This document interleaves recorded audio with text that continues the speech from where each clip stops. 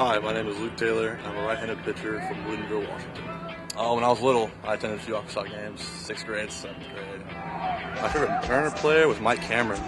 I played center field when I was younger, so I was Mike Cameron was definitely my favorite. One of my highlights of uh, spring training was doing the uh, Mariner commercials with uh, Felix and his, his, hot sauce one, and I'm actually grabbing gum in one of the scenes. That was a lot of fun. My walkout song is "Can't Stop" by the Red Hot Chili Peppers.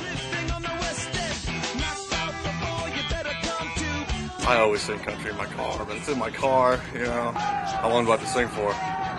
Yeah, I could I could pitch, you know, 4,000 people, but singing or dancing, I can't do it. Let's see. Ah, I get the jitters out. If I, if I butcher this, y'all gotta let me see it. Ah, can't do it. Do it.